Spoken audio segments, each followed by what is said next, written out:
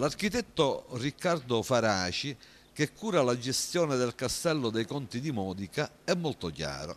Datemi altri tre dipendenti e aprirò il castello anche nel pomeriggio portone chiuso e numerosi turisti che chiedono informazioni a Stefano Abate, titolare dello storico negozio di biciclette che si trova in prossimità dell'ingresso principale dell'antico maniero. Stefano Abate allarga le braccia, ma quasi giornalmente segnala il problema ai vari funzionari o impiegati che si recano al castello e non riesce a darsi pace perché così il turismo ad Alcamo non potrà mai decollare. Ma è possibile che in un comune con quasi 800 dipendenti non si possano assicurare due turni, mattina e pomeriggio, e tenere aperto il castello?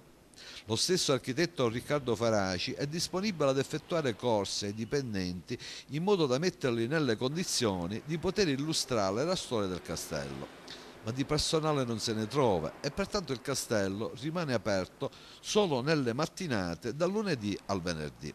Si parla tanto di valorizzare il patrimonio architettonico di Alcamo, si parla di valorizzazione del centro storico che sta lentamente risorgendo grazie all'istituzione dell'isola pedonale contro la quale un gruppo di negozianti ha presentato ricorso al TAR.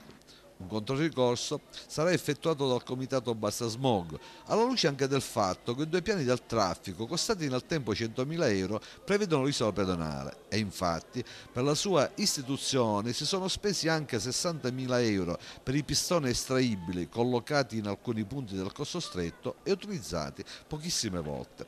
Come è noto, il fronte dei negozianti è spaccato. Ma tornando al castello, la cui fruizione va inserita in un ampio contesto di valorizzazione del centro storico alcamese, appare veramente assurdo che al comune di Alcamo non riescono a trovare altri tre dipendenti da affiancare a quei tre che dal lunedì al venerdì mattina aprono per poche ore l'antico maniero. Occorre una svolta nella gestione del personale. Ci riuscirà la prossima amministrazione comunale?